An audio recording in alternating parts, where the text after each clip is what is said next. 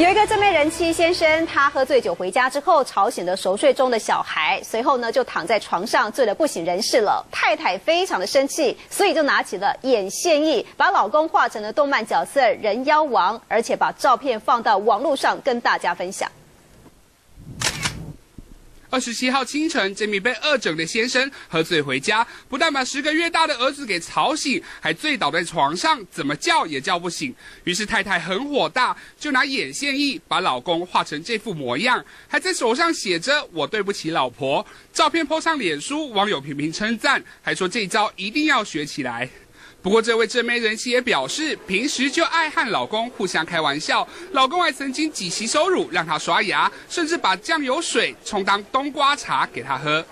这回人妻发威，就看老公洗澡时还笑不笑得出来。中立新闻李冠志台北综合报道。